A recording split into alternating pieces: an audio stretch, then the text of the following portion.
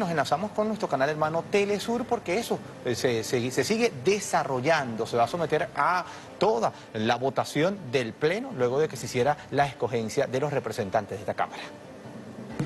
en nombre de la Comisión de Candidaturas Nacional de proponerles para presidente de los consejos de Estado y de Ministros de la República de Cuba al compañero Miguel Mario Díaz Canel Bermúdez.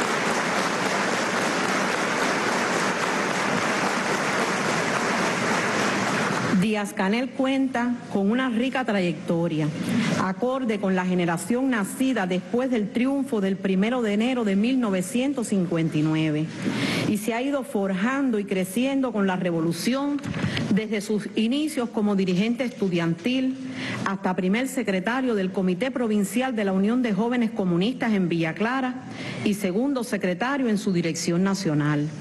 Es ingeniero electrónico y máster en dirección. Cumplió el servicio social en las Fuerzas Armadas Revolucionarias como oficial de tropas coheteriles antiaéreas, siendo reconocido con la distinción Servicio Distinguido de la FARC.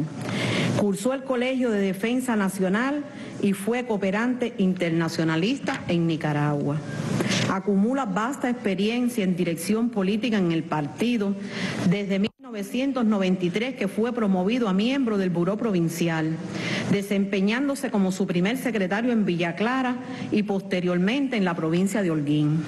Fue designado en el año 2009 ministro de Educación Superior y en el 2012 vicepresidente del Consejo de Ministros. Es miembro del Buró Político desde el año 2003 y en febrero del 2013 fue promovido a primer vicepresidente de los consejos de Estado y de ministros.